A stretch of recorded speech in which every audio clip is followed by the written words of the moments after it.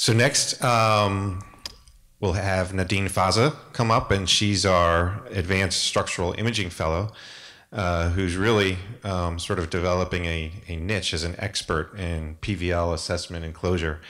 Uh, so uh, Nadeen. Thank you, Dr. Barker. It's an honor being here.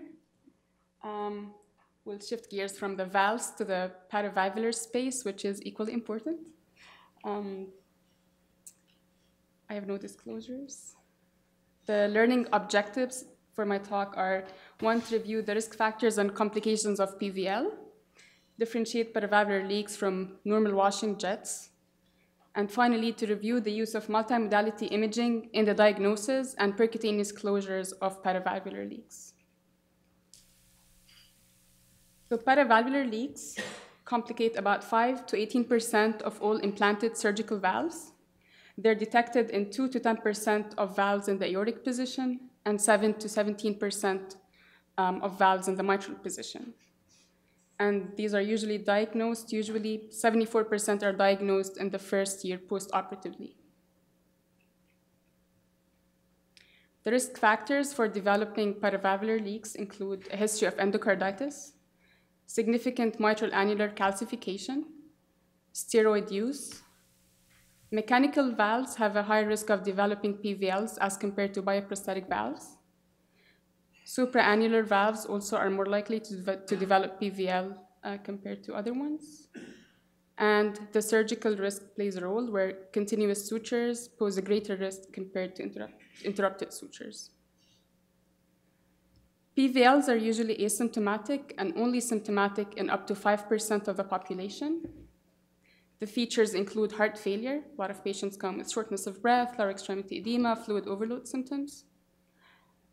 Hemolytic anemia is another clinical feature, and some patients require repeated blood transfusions. So it's important to order labs like LDH, haptoglobin, reticulocyte counts. And the last complication includes infective endocarditis. Indications for percutaneous closures of PVLs include symptomatic heart failure and persistent hemolytic anemia with anatomic features that are suitable for percutaneous closure. Contraindications include active infective endocarditis and significant dehiscence involving more than a fourth to a third of the valve ring. Multimodality imaging plays a role in the, in the diagnosis and procedural guidance during percutaneous PVL closures. Transthoracic echo is a primary modality for the diagnosis, and it's usually challenging, and there are usually subtle clues because of significant acoustic shadowing by these prosthetic valves. And they're also used for follow-up after percutaneous PVL closure. TE is very helpful, especially with the use of 3D in determining the location and the extent of such defects. It plays a key role in procedural guidance in the cath lab during percutaneous closure. And it's also important for evaluation of immediate complications post-deployment. CT is very helpful in planning by determining the location and the extent of the defect.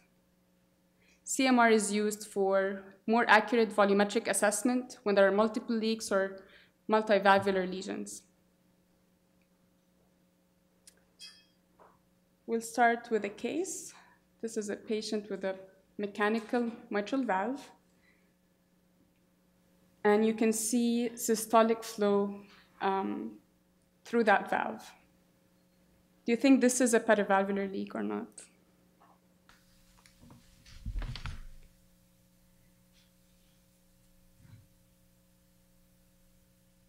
So it's important to differentiate paravalvular leaks from norm normal washing jets associated with mechanical valves. The key features of normal washing jets, which are not pathological, are that they're located inside the valve ring. So you can see them inside the valve ring right here. They're focused around the hinge points, and they point inwards. So these are the features of normal washing jets that are seen in mechanical prosthesis, and these are normal and not pathological. We're going to start with a case of a mitral uh, paravalvular leak to demonstrate the role of imaging in diagnosis and procedural guidance. This is a 65-year-old female with bioprosthetic mitral valve who presented with heart failure symptoms. This is a parasternal long axis view, and you see that the uh, mitral bioprosthesis is slightly tilted, but on color uh, interrogation of the um, valve, there isn't much systolic color flow to suggest the presence of mitral regurgitation. But again, as we said, these cases are challenging to diagnose um, on, on, TE, on TTE because of the acoustic shadowing. Then we got the apical views, and the valve is again slightly tilted, and we can't appreciate a lot of color um, to make us suspect mitral regurgitation.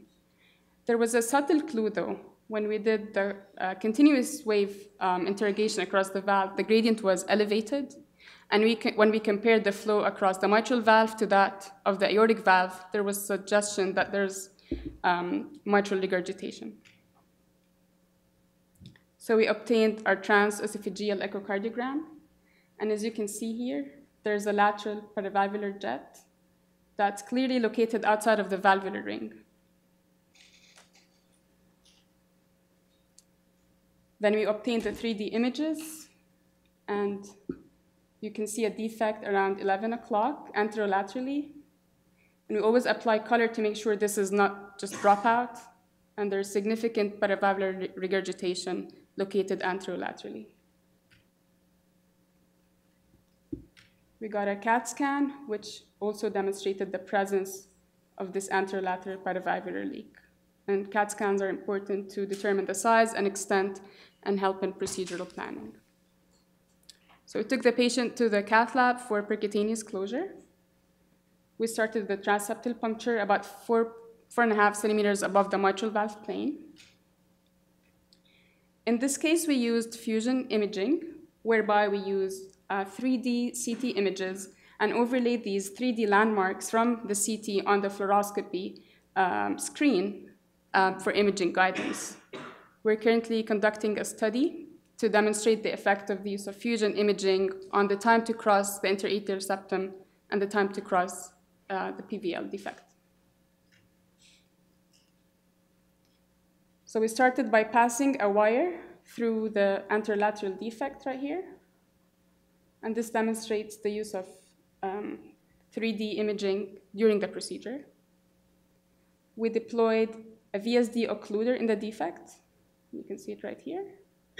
We checked with color Doppler, and there was still residual regurgitation anterior to the device that we placed.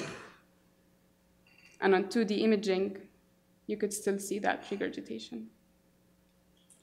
We moved on to wiring the residual defects. And this is important because every time you wire and there's a device, you have to re-image and make sure that the device is stable and has not moved.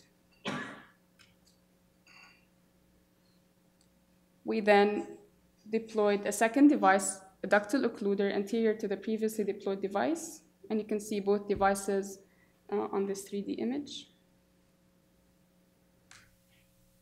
And with color 3D, there was trace residual regurgitation compared to what we had before. And this was confirmed by um, the 2D imaging, trace residual regurgitation. At the end of the procedure, it's very important to check for complications. We have to make sure that the device, or the devices in this case, did not cause any prosthetic valve obstruction. So we checked the gradients across the valve, and the mean gradient across the mitral valve was 2. And we check the fluoroscreen and make sure the device is well positioned in relationship to the prosthetic valve. And you can see we have an iatrogenic ASD, but the shunting is predominantly left to right. Checking for, for pericardial effusion is also very important after such cases. we will move on to an aortic paravalvular leak case. This is a 69-year-old gentleman with a mechanical aortic valve who presented with hemolysis requiring multiple transfusions. We got the baseline TTE. It's not very clear, but there was suggestion, suggestion that there was some aortic uh, regurgitation, which was more evident on the short axis views. Close to the site where you usually have the right coronary cusp. Then we obtained the transesophageal echocardiogram for more accurate assessment of the perivalvular leak. And we could see a more anterior jet. And we explained through it to determine how many jets we had. I don't know why these are blank. Okay. So on the trans uh, gastric views right here, the deep ones, you can see two jets, but in fact there's one jet that's located more anteriorly and it's directed posteriorly, giving the illusion of a second defect.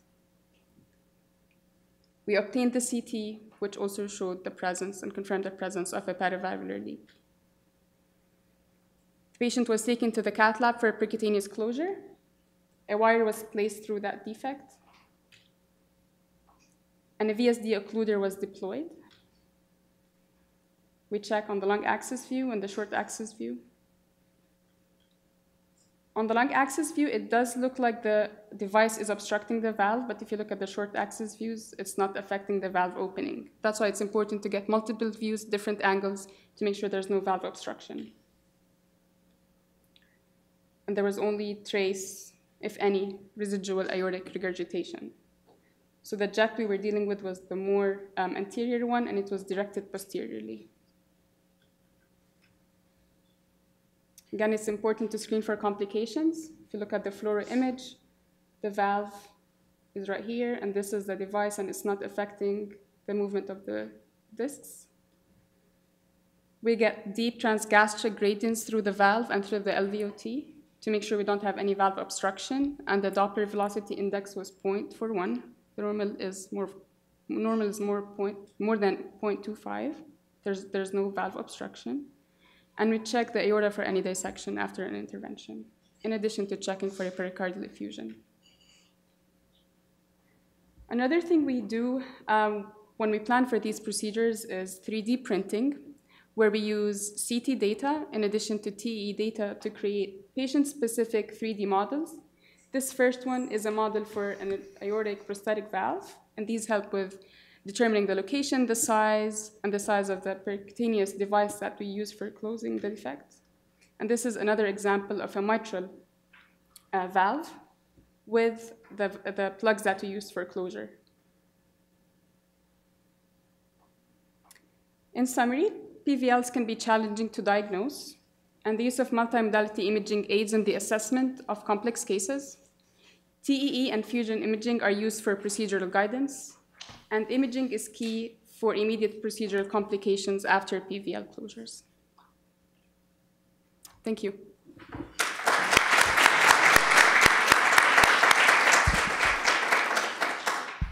So Nadeen, before you go, that was great, um, but you didn't give yourself enough credit. She's she's heading up um, a funded uh, study that we're doing uh, to try to optimize this technique and improve um, procedural times. Do you mind just telling us about that project in, in, a, in a few minutes about the project?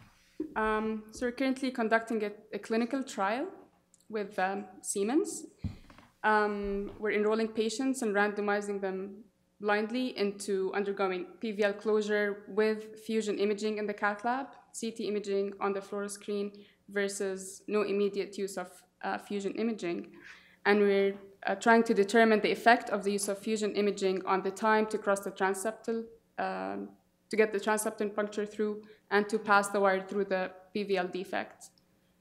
Um, so we're currently enrolling. If you have any patients with PVL, give me a call. when you start your talk, you always say PVL from elsewhere. yeah, we never see PVL, but we have two cases on Monday. Um, but it's and it's particularly important, I think, in the aortic position. Um, as as Nadeen illustrated, it's it's very tough, and and John pointed this out as well, to image sort of anterior structures and, and the aortic valve when there's a lot of hardware in there, and a lot of times the defect is uh, anterior, and your TE probe obviously is coming from posterior it, it can be a challenge um, to image. But when you have the screen and you can put a dot on your fluoro screen of, of where the defect is, it can make what used to be a procedure that took anywhere from one and a half to two hours to 15 to 20 minutes. Uh, so it's, it's very helpful. Great. Thank you. Thank you.